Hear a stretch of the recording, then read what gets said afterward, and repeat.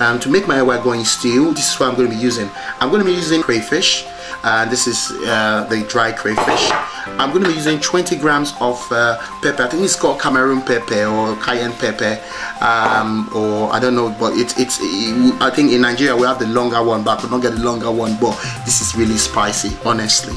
Um, so I'm going to be using that um, dried pepper which is which is this. I'm going to be using shombo which is a dried shombo so I'm going to wash this and soak these two in water. I'm going to be using one old medium size of onion salt.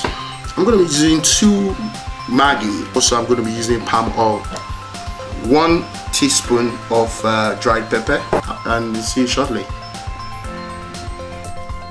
So what I'm going to do now I'm going to wash this um, which is my shombo and my pepper and soak it. So I'm going to wash this and soak it um, in water for 15 to 20 minutes until it's soft. Then I'm going to um, drain it and blend it together with my crayfish. Right um, as my tatashe and my um, Cameroon, Cameroon pepper or you know is, is soaking in the water um, what I'm going to do I'm going to prepare my onions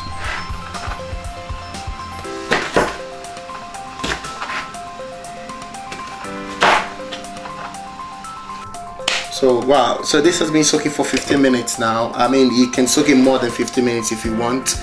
Um, so what I'm going to do I'm just going to blend it.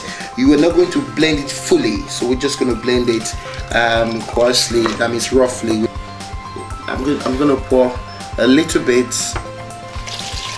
into that. So I wanted half of what I'm going to blend together actually. So just pour a little bit more as you can see the water and the pepper are in the same level and that's what we want. I am not going to add any tomato to it. As I said I'm not going to add any plum tomato. At this point what I want to do I'm going to add crayfish in it so that's fine. And that goes in there.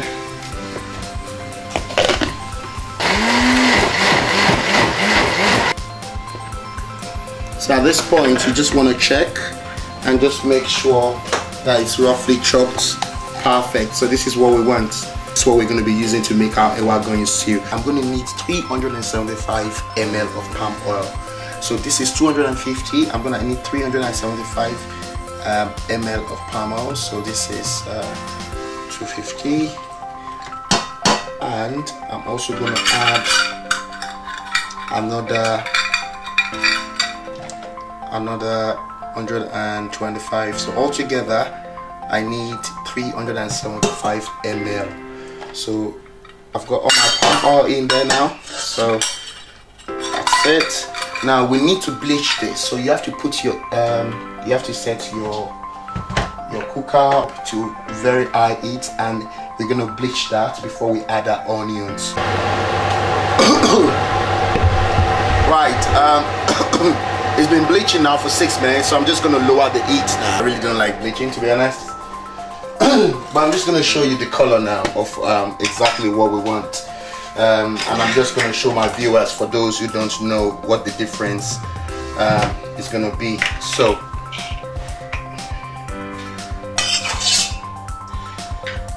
or what the difference looks like.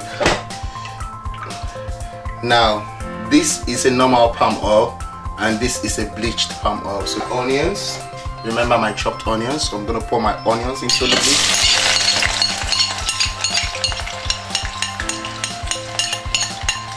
The other one that was cute but this one you you see your standing so I'm just gonna pour that into right.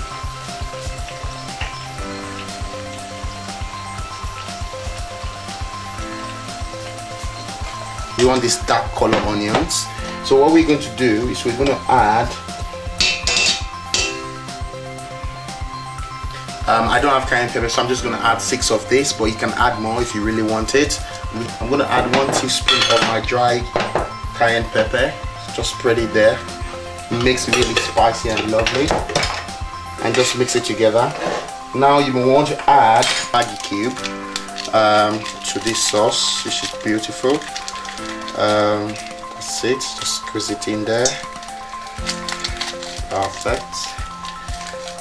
And also you can see perfect. So at this point now I'm just to add my pepper which I've all grounded up.